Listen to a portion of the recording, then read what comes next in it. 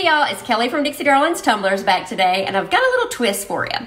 So about a month ago, I was sitting in a Super Bowl party with a bunch of my girlfriends, and one of my girls said she wanted a black cup with some gold flake leopard spots. So I thought, how am I gonna pull this out?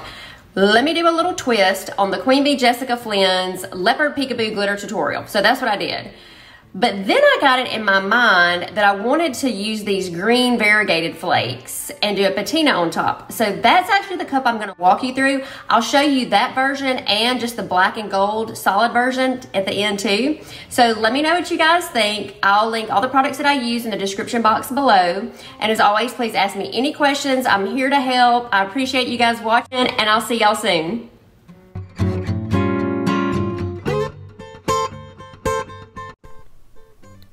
Okay, y'all, I'm just going to start with a 24 ounce taper from CraftHaven, and I've sanded it, washed it off, and then I've spray painted it with Rust-Oleum 2X metallic gold paint.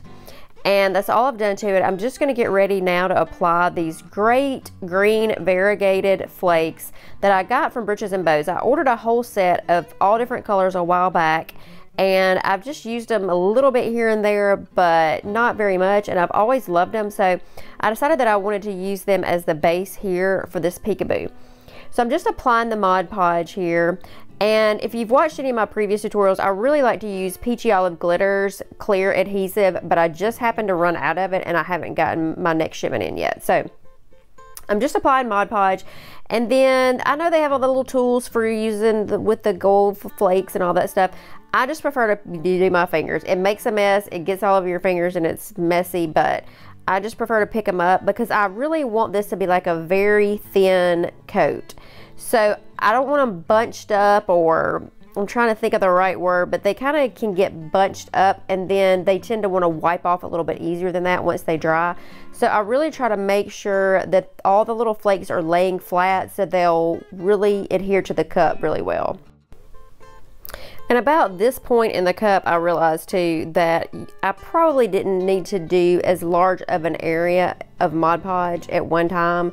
So I do start going back in with smaller areas and I'm really just covering the cup. So these flakes go so far, like you think you would use so much of them covering a whole cup, but you really don't. So it doesn't take as, as many as I thought it would, especially trying to get them flat and lay pretty flat around the cup. So I'm just gonna keep going around the cup with Mod Podge and applying flakes. And then after I've made sure that I've covered the cup pretty well, I'm gonna go back in and just any little areas that look loose or there's just excess, I'm gonna brush that off. And any areas that I've missed, I'm gonna try to touch those up. And then I did let this dry for about an hour just to make sure it was dry. It seemed like it took a little bit longer when there where there were areas that maybe I had to go back in and touch it up and the flakes were a little clumpy. It seemed to not dry as quick under that. So I did give it about an hour before I came back to work with it again. So after I let it dry for about an hour, I actually took the cup outside and brushed it off really well for any of the pieces that did not want to stick or were just extra would come off. And it did need a second coat of flakes. Not a full second coat but I, you'll see I go in and just touch up areas that they were holes. I could see through the cup. So because I had spray painted it gold underneath, you couldn't see really as bad as I thought you would be able to, but I just didn't want any open areas. I wanted to be covered pretty well. So I do go back in and just touch up some of the areas where the flakes just didn't seem to stick as well as I'd hoped they would.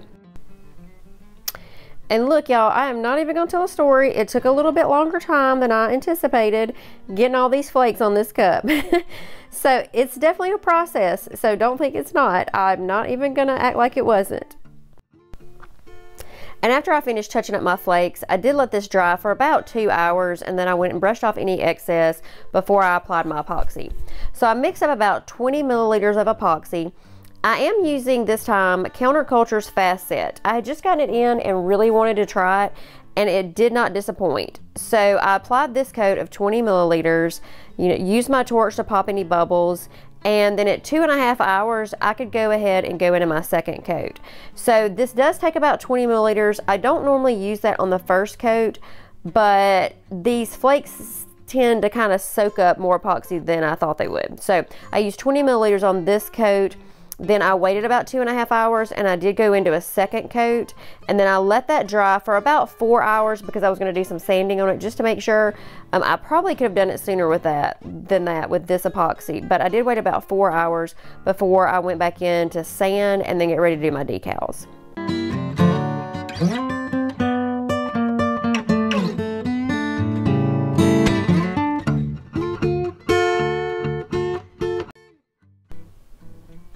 So now I've just sanded around the top rim a little bit. This, I tried to make sure the flakes were laying pretty flat so I wouldn't have any rough edges that it really needed to be sanded. So, you know, it's not like a glitter that's gonna stick up.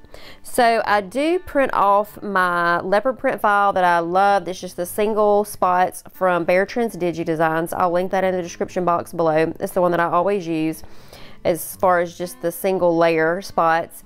And then the decal I just created in the Over app. So I probably will have that linked in my Facebook group. If you guys want it, I'll try to put those things in the file section because I didn't buy this. I just created on the Over app. It's pretty basic fonts. There's nothing fancy about it. I just wanted something basic just because I thought it might get a little busy with the patina being on top and the gold flakes variegated underneath. So I just wanted something pretty basic to go with on here. So I'm just going to apply my decal. I'm pretty OCD about getting things straight.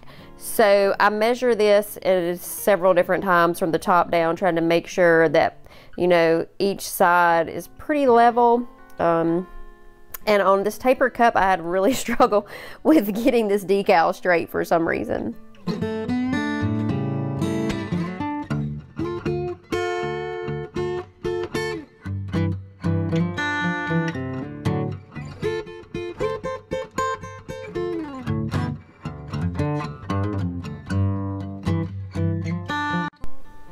And I'm just going to peel my backing off my transfer tape and press it down. And uh, then I'm going to measure it again because I just want to make sure that it's right.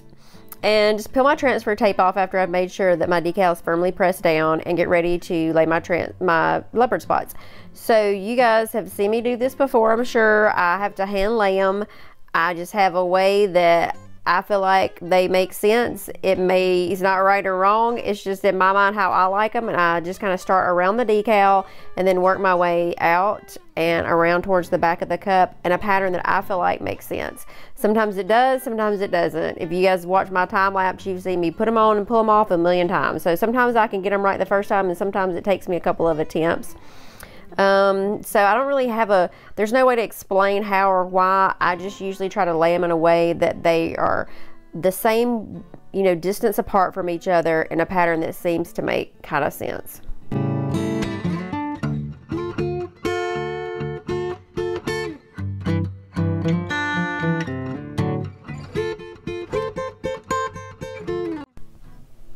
So now funny story for you. I go to break out my patina effect paste and in this color turquoise, it was so dry and hard I could not even get it out of the container.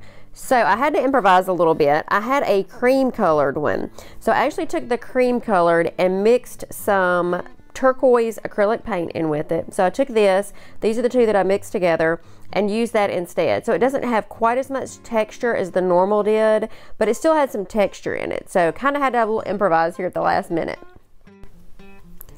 And I'm just taking a dry brush, as an old dry brush that I had, and I'm just gonna coat the cup in this before I move on to the next color. And I don't really let it dry in between just because I kind of want the colors to mix. So I'm just gonna fully coat the cup with this color and then go right into the next color.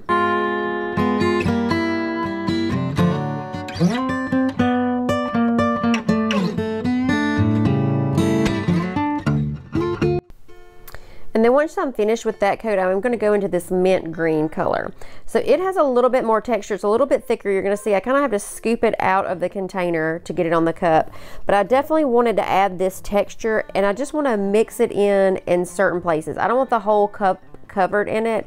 I just want it in certain areas so that when I come back in with my bronze at the end that it'll just highlight certain areas. So I'm just going to kind of pick strategically random spots on the cup to place this in, just to kind of mix it in. So it blends in with the other color, but then gives it a little bit more texture.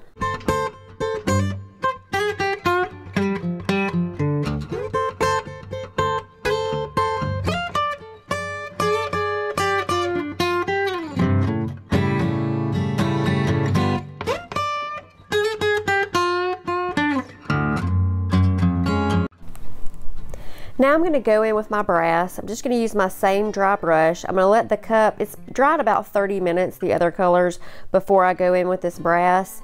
And I'm just going to hit the high points. So you will knock some of the texture off, but I kind of like it that way. It makes it look a little more rustic when you just kind of let it go with the flow here. I dip my brush down in the little pot and then on my parchment paper because I don't want too much on my brush. I just basically want it to hit the high points on the cup. Still look pretty natural but have that really pretty brass effect on it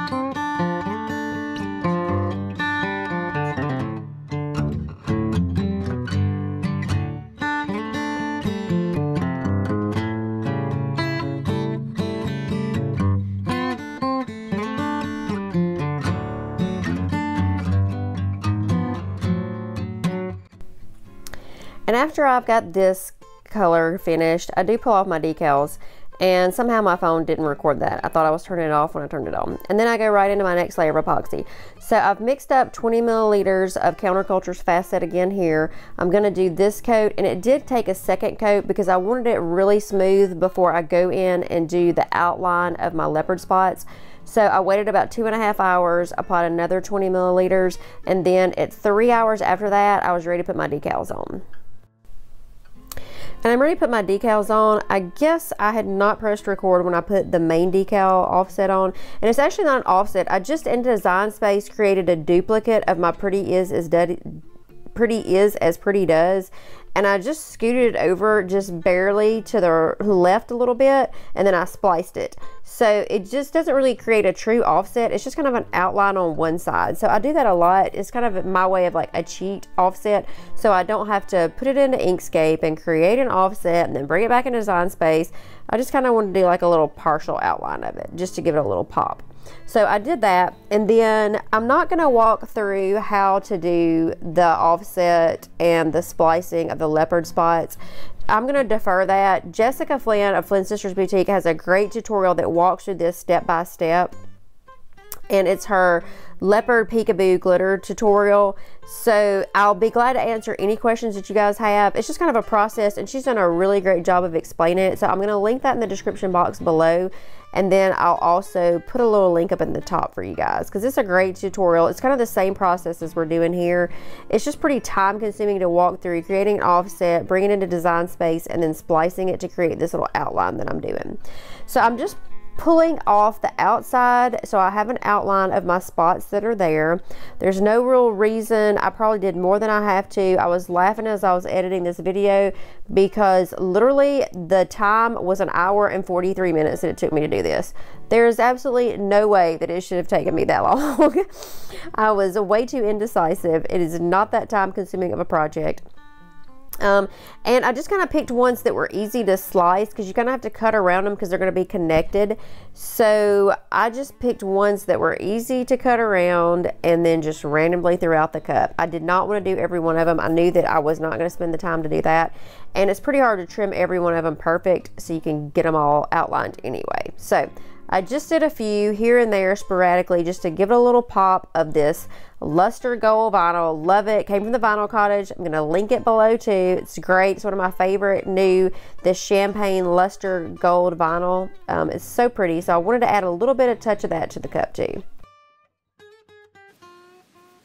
And I just apply my outline with my craft knife. I find it a little bit easier to get it to lay pretty perfectly around the spot if I do it with my craft knife versus transfer tape.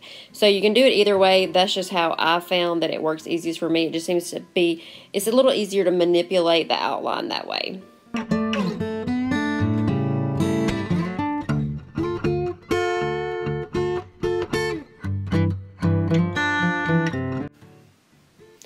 And then I didn't do the bottom as a peekaboo. I just thought I would go in and add a few little gold spots on the bottom just to give it a little pop. Just for that little added touch on the bottom that everybody seems to like. And I'm ready for my final coat of epoxy. I am mixed up 20 milliliters of epoxy here. I'm going to apply that and then let that coat dry for about 8 to 10 hours because I want to sand around the rim really good. And then I go with my final coat of another 20 milliliters of epoxy and then we're done. So here is the final patina version. I love how it turned out. It was exactly what I was looking for. Just that added little pop of the champagne luster vinyl around the main decal and the leopard spots. I thought it turned out so pretty. And the pretty is as pretty does. My mom used to always say that to me, so it was near and dear my heart. I love to put it on this cup. I've been waiting on something to use it on. So you guys let me know what you think. So here's the patina version. And now I'm going to show you the black and gold version. It turned out so pretty too. And now we've got the black and gold one. So I loved how both of these turned out. Very different and unique from each other, but I liked both of them. You guys tell me what you think. Which one's your favorite? Ask any questions. And then please tag me on anything that you create, either on your social media or share it in my Facebook group. I love seeing y'all's take on this design and go like, share, comment, subscribe, all that fun, crazy stuff. Be sure to subscribe if you don't want to miss future tutorials so you can get your notifications. And I thank y'all for watching, and I'll talk to y'all soon.